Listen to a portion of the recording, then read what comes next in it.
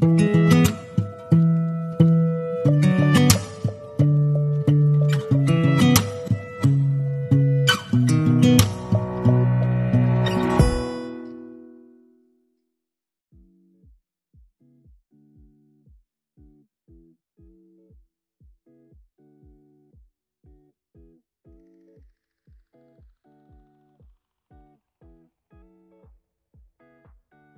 guys! Welcome back to our YouTube channel! So ngayon po ay gagawa ako ng ice candy. Ito yung aking gagawin naman ngayon. 500 gram taro flavor. So, try natin. Patok daw to sa mga bata. So, ayun guys. Start na tayo guys guys, ito yung aking mga ingredients. Mga flavors pala. Ito guys, 1 quart na asukal, white. Sweetened condensed creamer. Ating cowbell, vaporada, cream, all-purpose cream, taro, 500 gram. Tapos, magpapakulo tayo guys ng mga 1.5 liters na mainit na tubig. Tapos, ilalagay natin dito. 1.5. Ibala lahat ng tubig na gagamitin natin guys ay 5 liters only. So, ayan, mag-start na tayo. Ito yung pinapakuloan ko guys. 1.5 lang guys.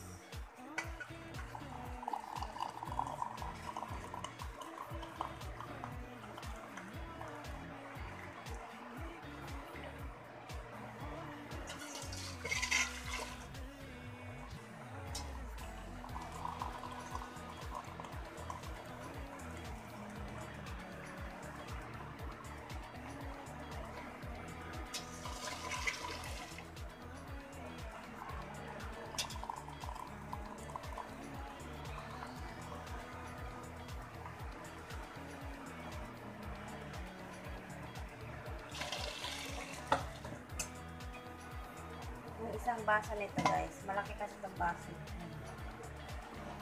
500 ml. So, tatlong nilagay ko na baso. 1.5 liter. So, ayun guys.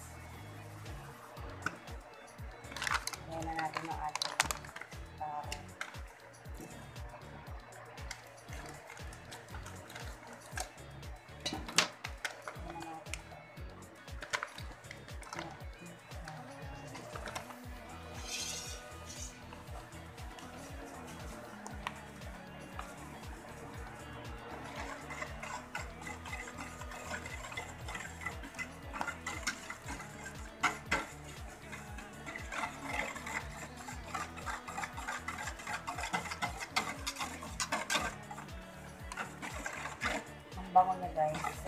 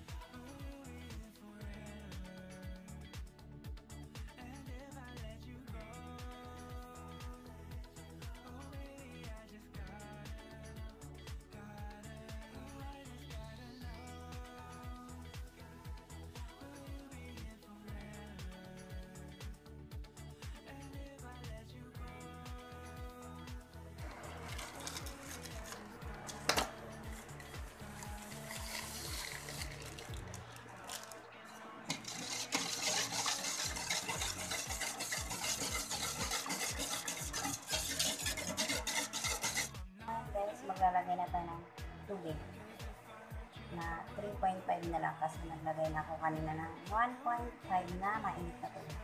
So, ayan. Ang dito guys ay mineral po. Ayan guys, ito na yung pang 5 liter. Ah. Ayan, punong-puno.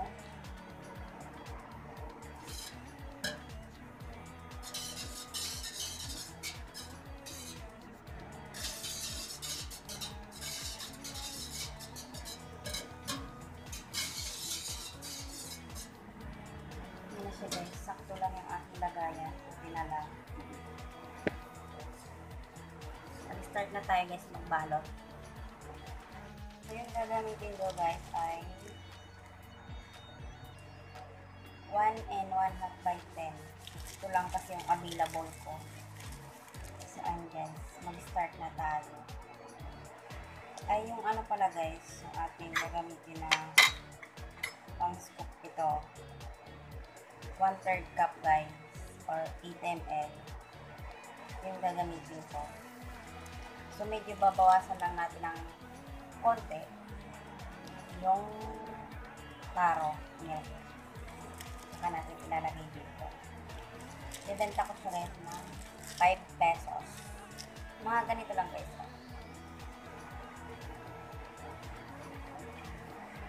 Ganyan guys. Hindi siya punong-puno.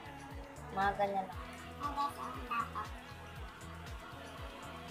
Tinikman ko siya guys. Ang sarap. Parang ayaw ko na ito ibenta. Sorry na. Peace. So ayun guys, magbalot na tayo. So, ayan, magbalot na tayo. So, oras na pala ngayon, guys, ay 12.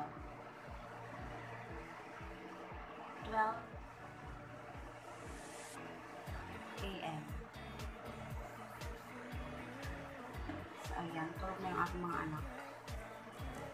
So, nag-i-start na tayo.